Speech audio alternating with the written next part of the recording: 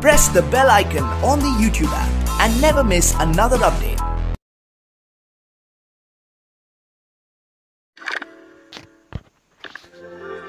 Sometimes when we dream, we travel back in time to when we were kids. And those are the best dreams.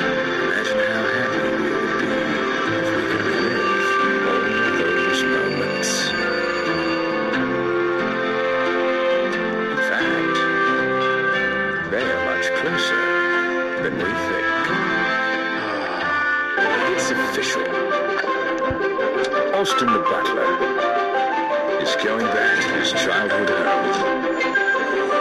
One full of wonderful memories and beautiful stories.